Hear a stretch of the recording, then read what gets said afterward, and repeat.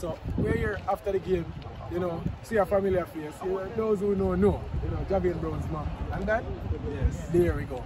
So give me an initial reaction. How do you feel about the game? Come Well, I closer. come, they, was, they, were, Come they closer. weren't playing. They wasn't playing according to how they should play. But in the second half, they pick up and they score a goal. I wish it was two that they would have won, won the game. But unfortunately, it was a draw. We have to accept it. All right, General. Tell me your initial reaction. How do you feel about it? Well, when I come out, I never know say them score no goal.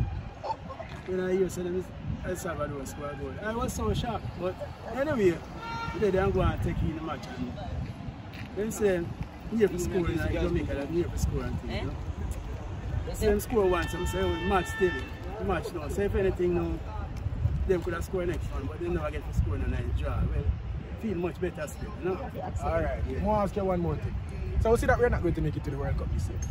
Based on what you saw here today, you feel like you know we can build on this and make it to 2026 based on what you saw just today. What Yes. Paul tried to. I saw a good match, you know, them play a good match today. They You know? can build on it. It can be done it, man. Because them play a good match today. Uh, and who you feel was the man of the match?